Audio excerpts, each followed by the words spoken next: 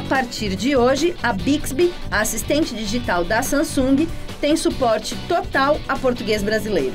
A funcionalidade, entretanto, só estará disponível para as linhas S10 e Note 10.